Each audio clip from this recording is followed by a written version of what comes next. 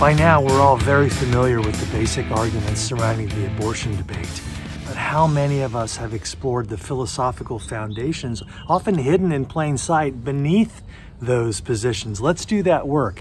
Join me on Wednesday, March 20th from 10 to 11:30 at the Grossmont Learning Center of San Diego Oasis for my talk called The Philosophy of Abortion. This is urgent work that we need to do. I'll see you there.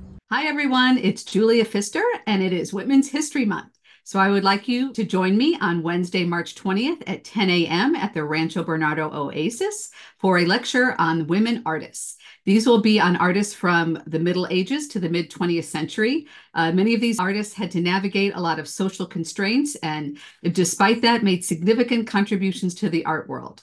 Uh, we'll take a look at artists such as Lavinia Fontana, Artemisia Gentileschi, Rosa Bonheur, and Mary Cassatt.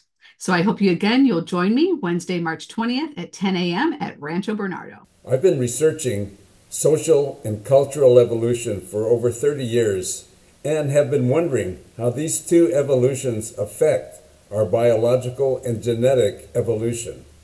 I decided to find out. Please join me, Henry George, at Rancho Bernardo Oasis at 10 a.m. on March 21st and discover how social, cultural, and population increases are affecting our human biology and genetics. Hope to see you there.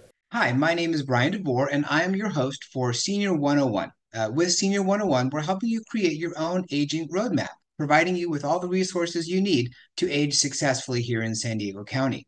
Uh, some of the past resources we've provided, different speakers talking about uh, home care and aging in place and looking for the right senior community, um, financial planning and estate planning, Medicare, and so many more. So I welcome you to join me uh, at the next Senior 101. Again, we're helping you create your own aging roadmap right here in San Diego County.